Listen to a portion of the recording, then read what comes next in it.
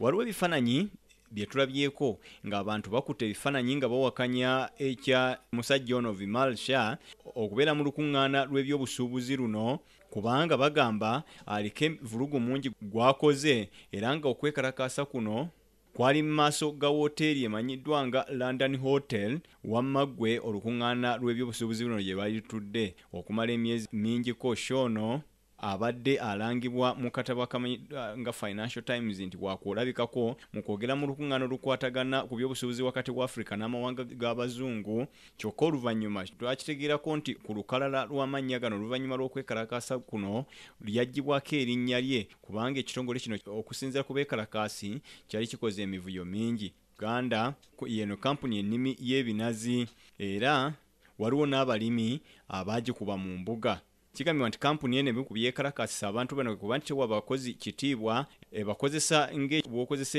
ekyonziira ate nga n'abasinga tebabeerawo budde bwonna kyokka ng'egamba abakozi bano babeerawo ebbanga lyonna